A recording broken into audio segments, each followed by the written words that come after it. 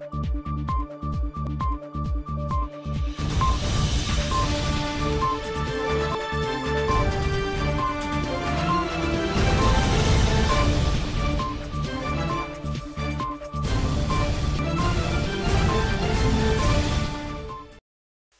Shalini plus बातमीपत्रात मी सुनील आपलं स्वागत करतो. बातमीपत्राच्या सुरुवातीला पाहूयात हेडलाईन्स जम्मू काश्मीरातील कुलगाम जिल्ह्यात चकमक पाच दहशतवाद्यांना कंठस्नान.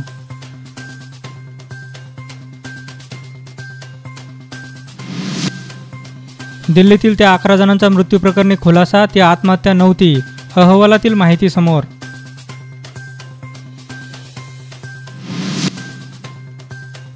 सध्या मी काँग्रेसमध्ये भविष्यात सांगू शकत नाही कृपाशंकर सिंह यांचं सूचक विधान. पुण्याच्या खेडमध्ये चक्क कोंबड्याचा वाढदिवस साजरा सोनवणे कुटुंबियांनी केला वाढदिवस साजरा.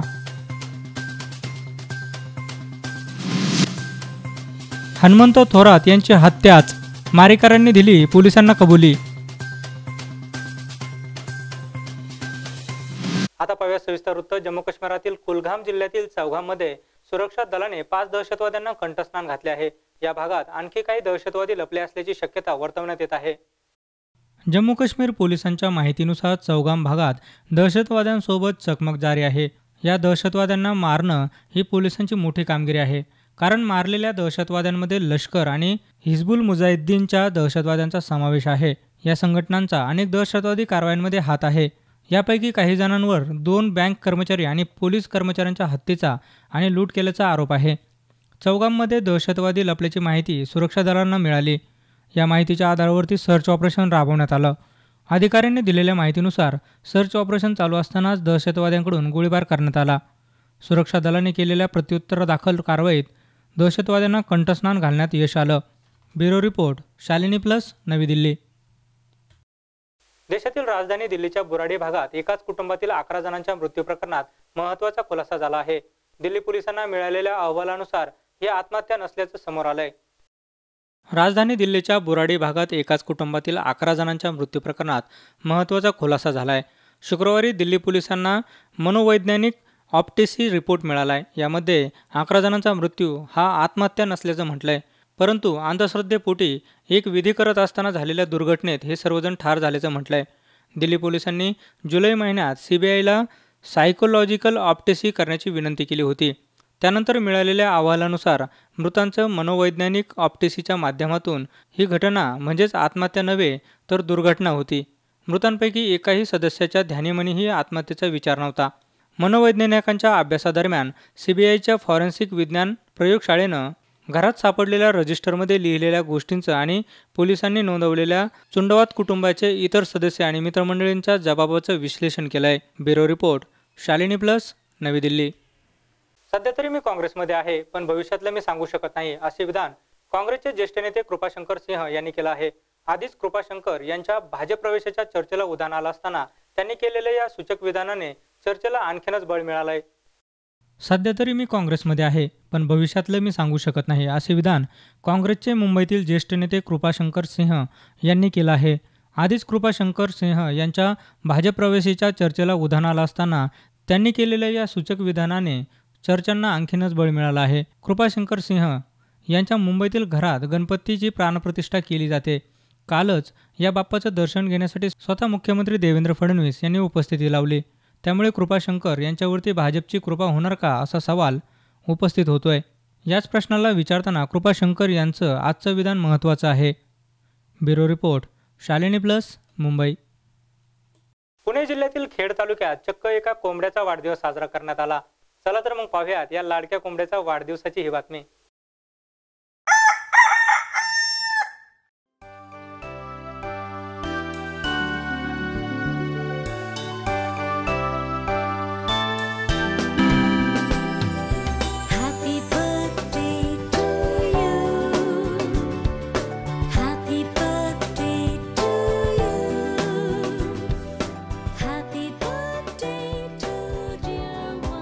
अण्णा असा हक्का मारणारा कोंबडा तात्या अशी आरोळी ठोकणारा कोंबडा आणि त्यानंतर चार पायाची कोंबडी आपण पाहिली. आता आणखी एक लाडका कोंबडा चर्चेत आलाय. पुण्यात एका कुटुंबाने चक्क आपल्या कोंबड्याचा वाढदिवस साजरा केलाय. पुण्याच्या खेडमध्ये कोंबड्यावरती जीवापाड प्रेम करणारं सोनावणे कुटुंबियांनी आपल्या लाडक्या कोंबड्याचा वाढदिवस साजरा केला. दोन वर्षापूर्वी मुलगा ऋतुराज सोनावणे याला गणपतीच्या प्राणप्रतिष्ठेच्या दिवशी हा कोंबडा रस्त्यावरती सापडला होता. सोनावणे कुटुंबियांनी आवडीने या कोंबड्याचं नाव पिलू असं ठेवलं. दोन वर्षापूर्वी गणपतीची प्राणप्रतिष्ठा झालेली असताना मुलगा ऋतुराजने घरी कोंबडा आणल्याने घरचे त्याला ओरडले होते. मात्र मुलाच्या हट्टापायी या कोंबड्याला सोनावणे कुटुंबियांनी आपल्या घरातील सदस्य बनवलं. त्यानंतर सोनवणे कुटुंबियांना या कोंबड्याचा लळा लागला आणि त्यांनी पुढे त्याचं पिलू असं नामकरण केलं. दोन वर्षापूर्वी दोन वर्षापूर्वी गणेश चतुर्थीच्या गणेश चतुर्थी असताना मी रस्त्यावरून येत होतो तेव्हा मला एक कोंबड्याचं कोंबडीचं पिल्लू सापडलं. त्याला मी घरी आणला. मग माझ्या घरचे म्हणले की त्याला सोडून ये. मग मी मग मी ते त्याला सोडलं नाही. त्याला पाणी आणि बाजरी दिली. मग ते माझ्या ला माझ्या माझ्या संग लाड घालायला लागलं. मग मी त्याला तसंच ठेवलं दोन तीन दिवस. मग तसंच वर्ष गेले व एक वर्ष गेला मग आज त्याचा बड्डे आला मग तो सेलिब्रेट केला. त्याचा बड्डे एखादा म्हणजे छोट्या मुलासारखाच हे केला साजरा केला आणि त्याचा केक त्याचा आवडता केक आणलेला आता पिलूला सोनवणे कुटुंबियांची भाषा समजू लागली आहे. सोनवणे कुटुंब ही पिल्लूचा हट्ट पूर्ण करू लागलेत. म्हणूनच दोन वर्षापूर्वी ज्या दिवशी पिल्लू सोनवणे कुटुंबाचा सदस्य झाला त्याच दिवशी त्याचा वाढदिवस साजरा केला जातो. वाढदिवशी केक कापून पिलूला तो भरवला जातो. अशा रीतीने रस्त्यावर सापडलेल्या कोंबड्याचं नशीब फळफळलंय. गणेश चतुर्थीच्या दिवशी रस्त्यातून येताना माझ्या मुलाला कोंबडीचं छोटं पिल्लू मिळालेलं. त्याने ते घरी आणलं. एक खेळणं म्हणून त्याने आणलं आवडीने ठेवलं. आम्ही ठेवून घेतलं म्हटलं चार दिवस राहील नंतर जाईल कुठेतरी. पण ते आमच्यामध्ये एवढं रमत रमत गेले का ते आमच्या घरातलं कधी सदस्य झालं हे आम्हाला कळालं सुद्धा नाही. आणि त्याच्याशी बोलणं वगैरे सुरू झालं आमचं. आणि त्याला आमची भाषाही कळायला लागली आणि तो इकडे ये पिल्लू जेवून घे पाणी पी झोपायला जा. आणि तो आम्ही घरात घुसलं का लाडाने आमच्या पायाजवळ नाचतो मला घ्या जवळ माझे लाड करा. त्याच्यामुळे तो आमच्या घरातला कधी झाला आणि आम्हालाही त्याचा लाडा कधी लागला ते आम्हालाच कळालेलं नाही आणि एक लहान बाळ कसं असतं आपल्या घरातलं सदस्य का आपण इकडून तिकडून आलो आपण त्याच्याशी खेळतो त्याच प्रकारे तोही आमच्या घरातला एक कोणी आम्ही बाहेरून आलं ना ऋतुराज येऊ माझा मुलगा किंवा माझा नवरा येऊ घर बाहेर तर लगेच बाहेरून आलं का त्यांच्या पायाशी घुटमळतो माझे लाड करा मला उचलून घ्या आपणही थोडंसं रम रमतो त्याच्यामध्ये थोडा थकवा असतो आपल्या शरीरात तोही निघून जातो त्याच्याशी खेळल्याने. आणि तो दोन वर्षाचा झाला. त्या त्या गणपती गणपतीच्या दिवशी त्याला आणल्यामुळे त्याचा वाढदिवस आम्ही जसं गणपतीचा वाढदिवस किंवा तो आल्याचा उत्साह आपण साजरा करतो त्याच उत्साहात आम्ही त्याचाही वाढदिवस साजरा केलेला आहे. विकास चौधरी शालिनी प्लस पिंपरी चिंचवड.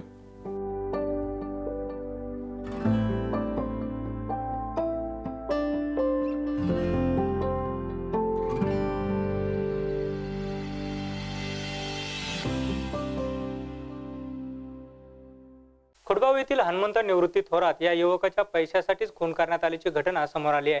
थोरात हे व्यावसायिक होते. पैशासाठी त्यांची हत्या केल्याची कबुली आरोपींनी दिली आहे.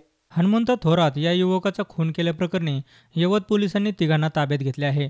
त्यांनी खुनाची कबुली दिली आहे.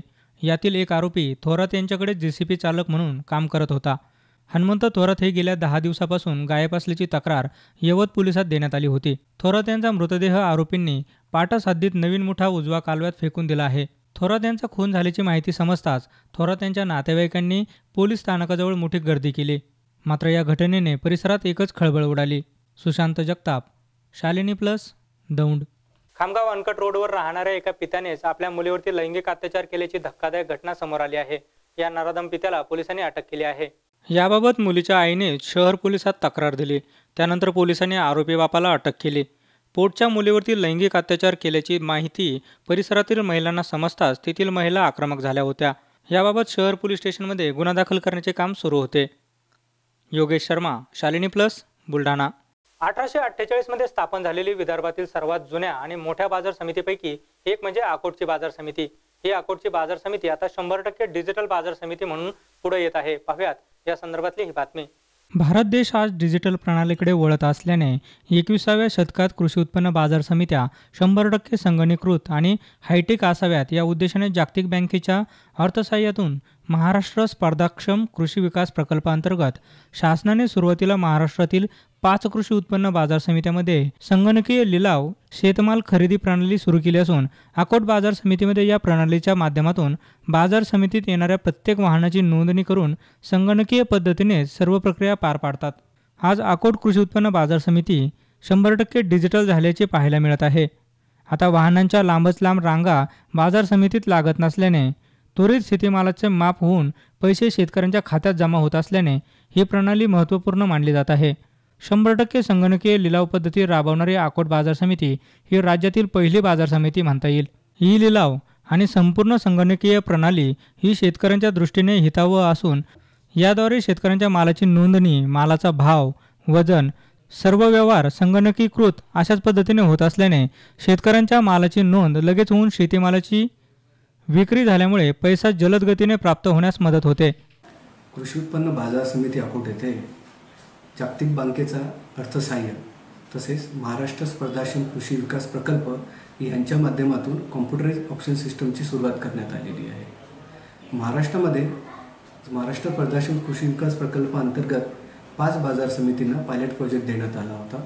त्या पाचमध्ये अकोट कृषी उत्पन्न बाजार समितीची निवड करण्यात आली होती. या प्रकल्पाच्या माध्यमातून बाजार समितीमध्ये होणाऱ्या शेतकऱ्यांच्या शेतमालाचे लिलाव संगणीकृत पद्धतीने करण्यात येतात. या पद्धतीमध्ये बाजार समितीमध्ये जेव्हा शेतमालांचा शेत शेतकऱ्यांचा शेतमाल येतो तेव्हा सर्वप्रथम त्यांची आवकमध्ये नोंद घेतल्या जाते. शेतकऱ्यांचा संपूर्ण शेतकऱ्यांची माहिती त्यांच्या मोबाईल क्रमांकासह आपण कम्प्युटर सिस्टममध्ये त्यांची नोंद घेतो.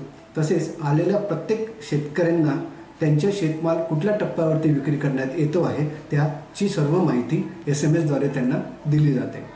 शेतकरी जेव्हा बाजार आवारामध्ये येतो तेव्हा सर्वप्रथम त्यांची नोंद आवकमध्ये संगणकीय पद्धतीनं होतं. त्यानंतर त्यांचा लॉट पद्धतीने शेतमालाचे लिलाव केले जातात. लिलाव करताना व्यापारी संगणक पद्धतीचा पूर्णपणे अवलंब करतात. बाजार समितीने आणि प्रकल्पाच्या माध्यमातून व्यापाऱ्यांना कम्प्युटराईज लॅब तसेच टॅबसुद्धा प्रोव्हाइड केलेले आहे.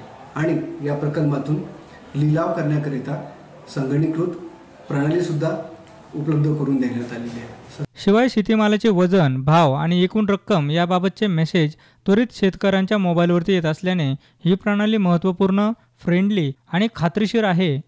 शेतकऱ्यांना शेतीमाल विक्रीसाठी कधी बाजार समितीत आणायचा याबाबतचे मेसेजद्वारे शेतकऱ्यांना कळवले जाते. त्यामुळे शेतकऱ्यांना शेतीमालाची वाहने घेऊन अगोदर येण्याची गरज पडत नसल्याने ज्या दिवशी लिलाव असेल त्याच दिवशी शेतकरी शेतमाल घेऊन येत असल्याने शेतकऱ्यांचा आर्थिक फायदा देखील होतोय. इथे गेल्या चौदा पंधरा वर्षापासून मार्केट यार्डमध्ये माल विकायला आणतो. गेल्या दोन तीन वर्षापासून जवळपास कॉटन मार्केट अकोट येथे माळवे साहेब यांच्या मार्गदर्शनात इथं संगणीकृत लिलाव संगणीकृत बिलिंग आणि संगणीकृत जे पेमेंट आहे ते सुद्धा इथं या मार्केटमध्ये दिल्या जाते. त्यामुळे याआधी होणारी मापामध्ये होणारी हेराफेरी किंवा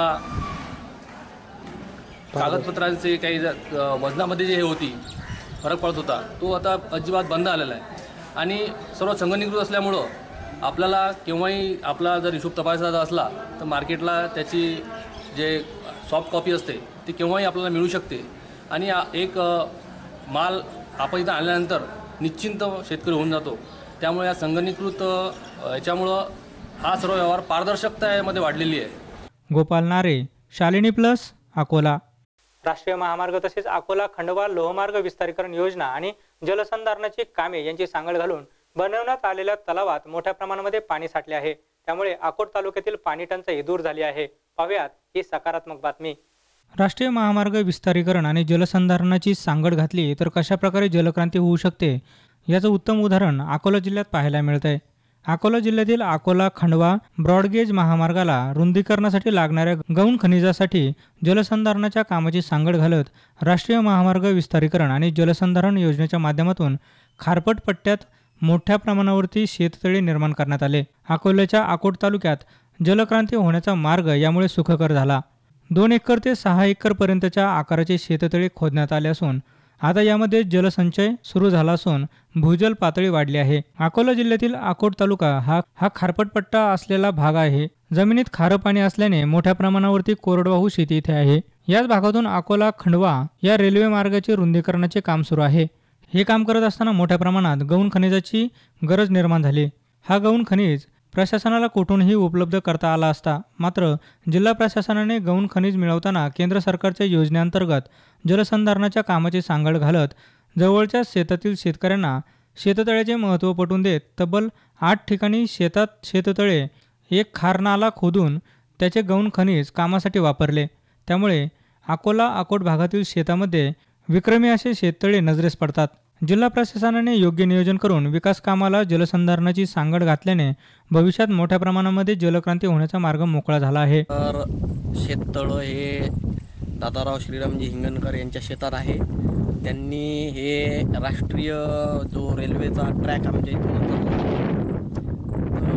त्या योजनेसाठी जे गौण खनिजाची आवश्यकता होती तर त्यांच्यामार्फत या शेततळ आम्हाला करून देण्यात आलेलं आहे आणि बाजूनच अकोट अकोला या रोडचं मोठ्या प्रमाणात काम चालू असल्याच्यानं तिथे पण मुरुम मातीची आवश्यकता असल्याच्यानं माननीय कलेक्टर साहेब त्यानंतर जलसंधारण विभागाचे अधिकारी आणि रॉयल्टी डिपार्टमेंट म्हणजे जे आपण महसूल विभाग म्हणतो त्या विभागाच्या सर्व कर्मचाऱ्यांनी अधिकाऱ्यांनी एक बैठक घेऊन या प्रोग्रामला मंजुरात दिलेली आहे. त्यामध्ये विविध प्रकारचे शेततळे नाला रुंदीकरण नदीचं रुंदीकरण हे कामं घेतले आणि त्या योजनेअंतर्गत शेतकऱ्यांना सुद्धा लाभ व्हावा यासाठी त्यांनी बऱ्याचशा शेतकऱ्यांशी संपर्क साधून हे शेततळे करण्यासाठी त्यांनी प्रवृत्त केलं आणि शेततळे करून दिलेले आहेत. सदर शेततळे करण्यात मागचा उद्देश आमचा असा होता की हा आमचा टोटल सलाईन ट्रॅक आहे.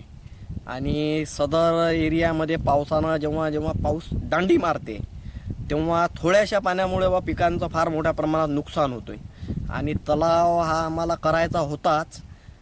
तर योगायोग हा शासनामार्फतच करून मिळाला. त्याबद्दल सर्वप्रथम म्हणजे आता शासनाचे आभार आम्ही मानायला पाहिजे. आणि इतका मोठा हा जो सहा एकराचा तलाव आहे हा बहुधा अकोला जिल्ह्यातला किंवा विदर्भातला सर्वात मोठा तलाव असला पाहिजे असं मला वाटते. आणि सदर तलावापासून आम्हाला शेतीला एक जोडधंदा म्हणून सुद्धा एक व्यवसाय करायची संधी उपलब्ध झालेली आहे. जसे की आता मत्स्यपालन म्हणून आम्हाला यात करता येते किंवा त्याला दुसरं त्याच्यानंतर लिफ्ट इरिगेशन आणि शेतातल्या पिकांना पण पाणी द्यायचं असलं तर ते पण आम्हाला इथनं करता येणार आहे. गोपाल नारे शालिनी प्लस अकोला. साताऱ्यातील फलटण पंढरपूर रस्त्यावरती अज्ञात वाहनाने दिलेल्या धडकेत तिघांचा मृत्यू झाल्याची घटना समोर आली आहे. मृतक हे वडणी येथील रहिवासी असल्याची माहिती समोर येत आहे. शनिवारी पहाटे जिमला निघालेल्या युवकांच्या बाईकला अज्ञात वाहनाने दिलेल्या धडकेत तिघांचा मृत्यू झाला. साताऱ्यातील फलटण पंढरपूर रोडवरती ही दुर्घटना घडली. यात अक्षय नाळे राहुल नाळे अमित नाळे या तरुणांचा अपघातात मृत्यू झाला. तिघेही वडणी येथील रहिवासी आहेत. अक्षय राहुल अमित हे तिघे पहाटे बाईकवरून पिंप्रद या गावात जिमसाठी निघाले होते. दरम्यान बाईकवरती जात असताना मागच्या बाजूने येणाऱ्या अज्ञात वाहनाने त्यांच्या बाईकला जोरदार धडक दिली. या अपघातात तिघांचा मृत्यू झाला. अपघातानंतर संतप्त नागरिकांनी घटनास्थळी धाव घेतली. मात्र पोलिसांनी वेळेस घटनास्थळी दाखल होत संतप्त नागरिकांना शांत राहण्याचं आवाहन केलं. फलटण तालुका पोलीस ठाण्यात अपघाताची नोंद करण्यात आली असून पोलीस अज्ञात वाहनाचा शोध घेत आहेत.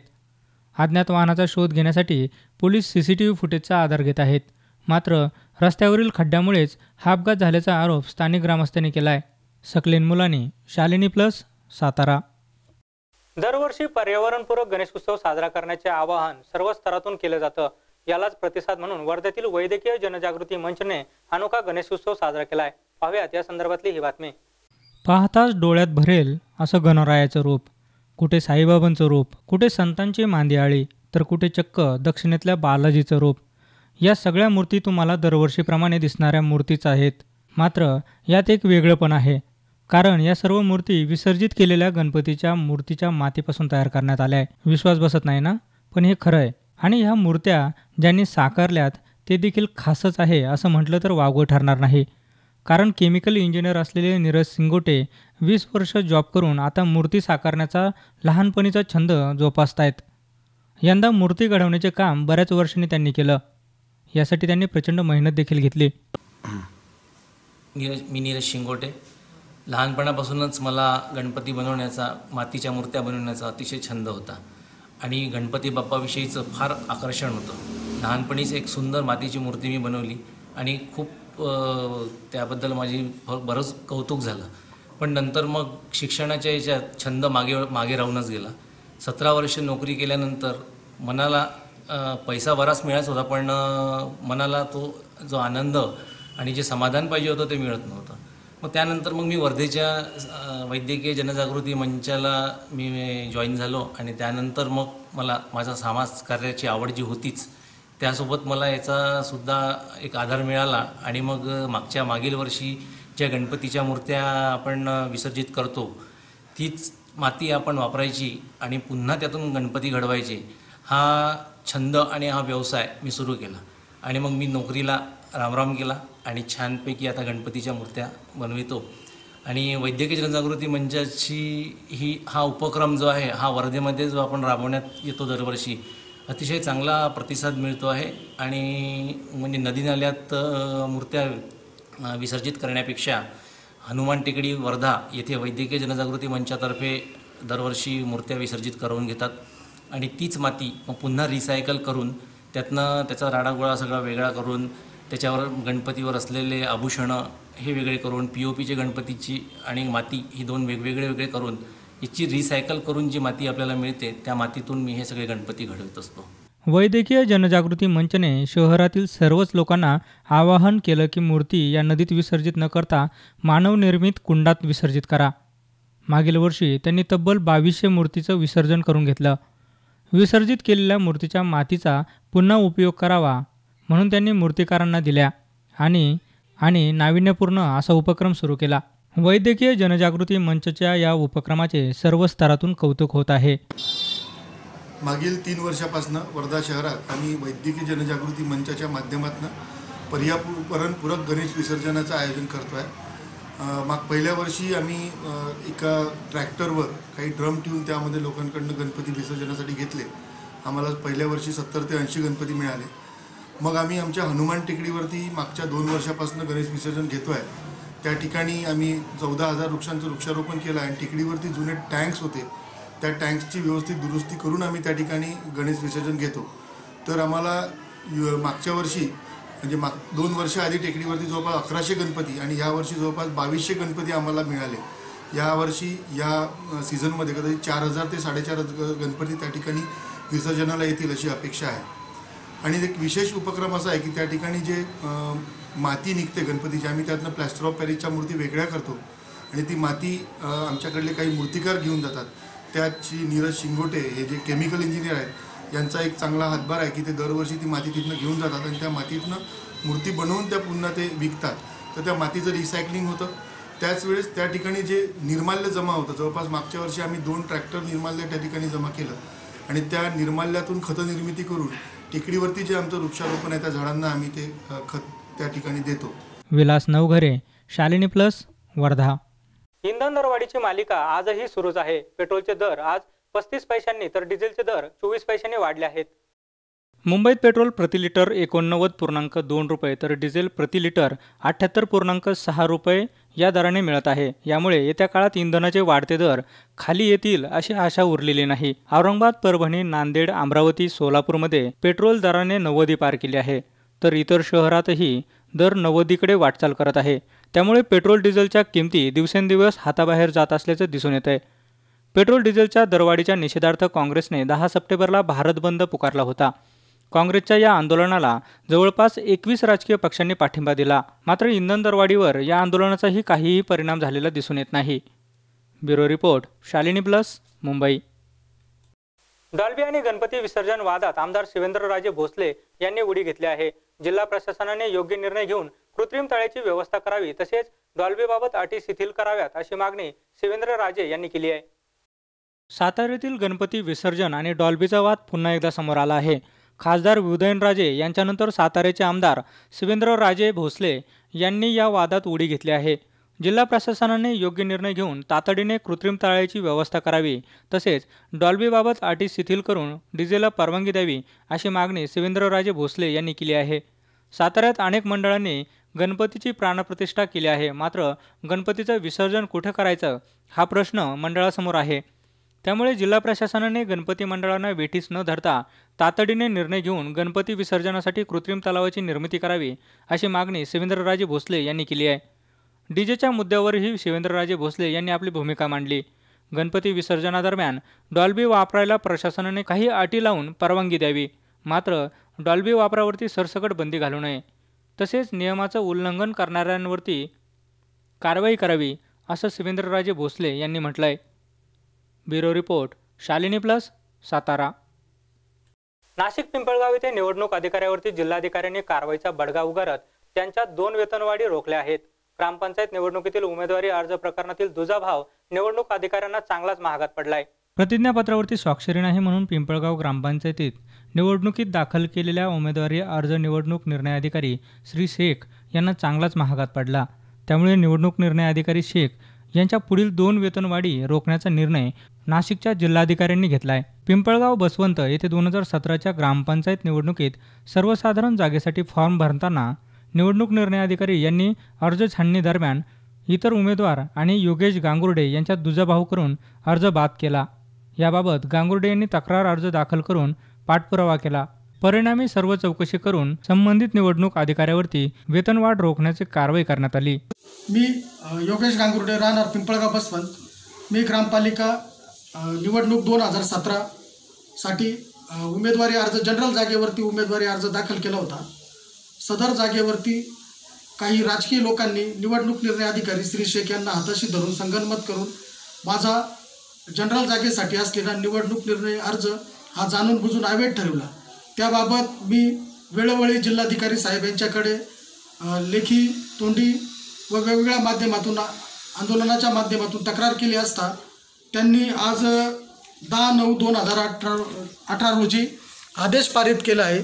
त्यानुसार श्री शेख निवडणूक निर्णय अधिकारी यांचे दोन वेतन हे कायमस्वरूपी बंद केलेले आहेत. तरी श्री शेख कासार साहेब यांनी जो निर्णय दिला आहे तो अर्धवट निर्णय दिलेला असून आपली मूळ मागणी ही आहे की सदर जागेवरती पुनश्च एकदा नव्यानं इलेक्शन व्हावं आणि माझा जो जाणून बुजून उमेदवारी अर्ज बाद केला आहे त्यामुळे मलाही पुन्हा त्या जागेवरती इलेक्शन लढण्याची संधी मिळावी. तसेच निवडणूक निर्णय अधिकारी पिंपळगाव बसवंत यांना तात्काळ निलंबित करून त्यांच्यावरती फौजदारी गुन्हे दाखल करावेत अशी मी शासनाला विनंती करतो. Amol Jadhav Shalini plus Nashik. One day सामन्याच्या आशिया चषकाला आजपासून सुरुवात झाली असून येणाऱ्या एकोणीस तारखेला भारत आणि पाकिस्तानमध्ये टक्कर होणार आहे. या सामन्याकडे सर्वच क्रिकेट रसिकांचं लक्ष लागलंय. रोहित शर्माची टीम इंडिया आशिया चषकात खेळण्यासाठी दुबईत दाखल झाली आहे. वन डे सामन्यांच्या आशिया चषकाला आजपासूनच सुरुवात होत आहे. भारतासह पाकिस्तान श्रीलंका बांगलादेश अफगाणिस्तान आणि हाँगकाँगचा या स्पर्धेमध्ये समावेश आहे. सलामीचा सामना मंगळवारी अठरा सप्टेंबरला हाँगकाँगशी होणार आहे. तर दुसऱ्या दिवशी म्हणजे बुधवारी एकोणीस सप्टेंबरला भारत आणि पाकिस्तान संघ आमनेसामने येतील. टीम इंडियाच्या नियमित कर्णधार विराट कोहलीला आशिया चषकातून विश्रांती देण्यात आली. विराटच्या अनुपस्थितीत टीम इंडिया आशिया चषक जिंकणार का याविषयी चाहत्यांमध्ये उत्सुकता आहे. Bureau report Shalini plus Mumbai. शेवटी पुन्हा एक नजर टाकत आजच्या हेडलाईन्सवर जम्मू काश्मीरातील कुलगाम जिल्ह्यात चकमक पाच दहशतवाद्यांना कंठस्नान.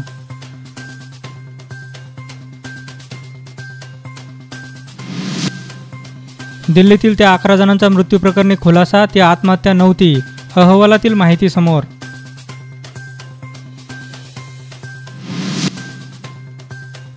सध्या मी काँग्रेसमध्ये भविष्यात सांगू शकत नाही कृपाशंकर सिंह यांचं सूचक विधान.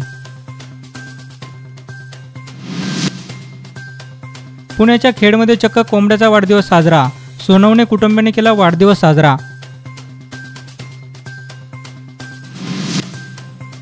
हनुमंत थोरात यांची हत्याच मारेकरांनी दिली पोलिसांना कबुली.